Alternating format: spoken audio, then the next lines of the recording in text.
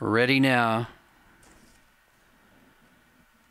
Away. First to go, Hazy Flash, mustering Prime Whiskers the fence, deep out Lady Flash, and then Sebastian Mack. Last is Rexina. Prime Whiskers, two lengths over Hazy Flash, and they've dashed away from the others. Sebastian Mack, Rexina, Lady Flash. Here comes Hazy Flash moving up to Prime Whiskers. Hazy Flash, the inside, takes the lead. Hazy Flash, two lengths, Prime Whiskers, 23 11. Four lengths away, third Rexina. Fourth is close between Sebastian Mack and Lady Flash.